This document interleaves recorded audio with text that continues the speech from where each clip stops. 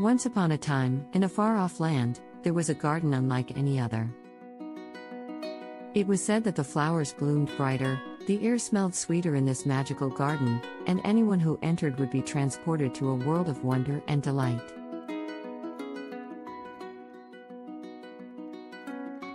Many people had heard of the garden's enchantments, but few had seen it for themselves. The journey to the park was long and treacherous, and only the bravest and most determined travelers dared to make the trip. One day, a tired and weary traveler stumbled upon a map that led to the garden. She had spent years traveling the world, searching for something to fill the emptiness in her heart, and she knew that she had to see this garden for herself.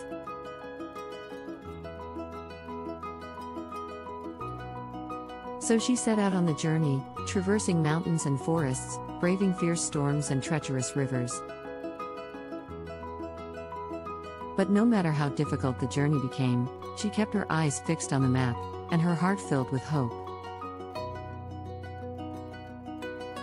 Finally, after what felt like an eternity, she arrived at the garden. And it was even more breathtaking than she had imagined. The flowers were like nothing she had ever seen, their colors so vivid they seemed to glow with an inner light. The air was thick with the scent of blooming roses and lilies, and the sound of birdsong filled her ears. As she wandered deeper into the garden, the traveler felt a sense of peace and contentment that she had never known. She smiled, laughed, and danced through the park with abandon, like a child. But then she noticed something odd. The flowers seemed to be moving as if they had a life of their own. And then, to her amazement, they began to speak to her. Welcome, weary traveler, said a daisy. We have been waiting for someone like you. Someone tired of the world and seeks a place of peace and wonder. The traveler was stunned. How could flowers speak? But she found that she wasn't afraid. Instead, she felt the sense of wonder and curiosity that she had never felt before. We have a gift for you, said a sunflower. A gift that will fill your heart with joy and light. But first, you must pass a test. The traveler needed to be more confident. What kind of test? But the flowers were insistent, and so she agreed. The test was simple she had to dance with the flowers. The traveler was nervous, but she couldn't resist the joy that filled her heart. She danced with the flowers, twirling and spinning through the garden until she was breathless and giddy. And then, the flowers gave her the gift a seed. A tiny, shimmering seed that glowed with an inner light. This is the seed of wonder, said a rose. Plant it, and watch as your world transforms. Let go of your tiredness, your worries, and your fears. Let the world's wonder fill your heart, and you will never be the same. The traveler knew what she had to do. She took the seed and planted it in the earth with shaking hands. And then, as she watched, something incredible happened. The source grew, and grew, and grew until it became a tree. But this was no ordinary tree.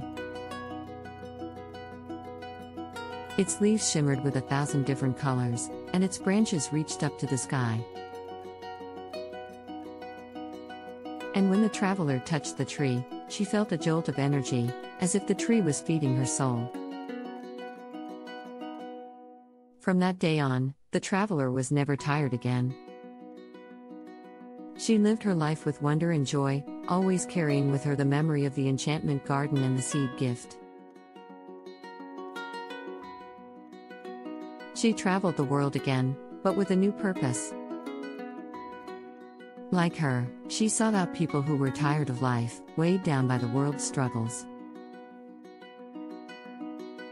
And wherever she went, she would plant a seed from the tree.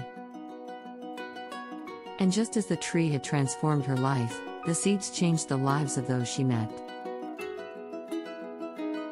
The people she encountered would watch as the source grew into a tree, and they, too, would be filled with wonder and joy. Soon, the traveler had a reputation as a bringer of joy and wonder. People came far and wide to seek her out, receive seed from the tree, and be transformed by its magic. And so it was that the traveler's journey became a search for wonder and a gift to the world. She had found her purpose, and with every seed she planted, she knew that she was making a difference in the lives of those around her. Years passed, and the traveler grew old. But her legacy lived on as the trees she had planted grew tall and strong, spreading their magic throughout the land. And when the traveler finally passed away, the people she had touched came together to plant a new garden in honor of the Wonder Girl who had shown them the true magic of life. A garden where anyone tired of life could find renewal and hope, where the flowers spoke, and the world was filled with wonder.